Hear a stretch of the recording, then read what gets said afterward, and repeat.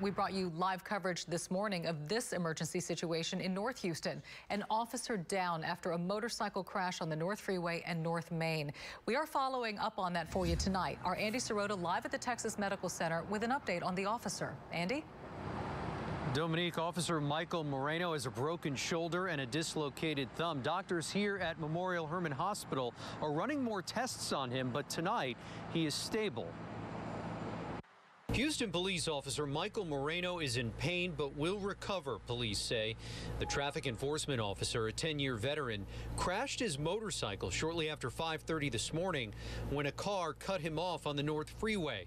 Police say he swerved to avoid it. His motorcycle been, began to vibrate. Uh, he did what, he, what we were trained them to do.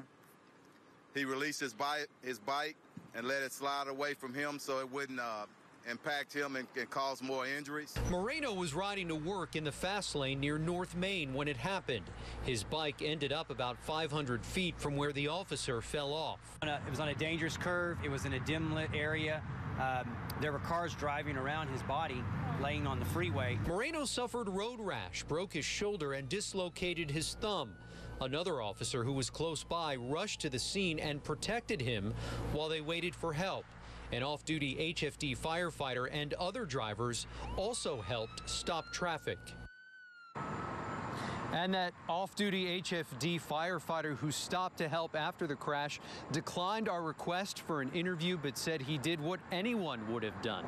Tonight, police still don't have a description of the vehicle that cut Officer Moreno off. If you have any information about that, call HPD's Vehicular Crimes Unit. Live in the Texas Medical Center, Andy Sirota, KPRC Channel 2 News.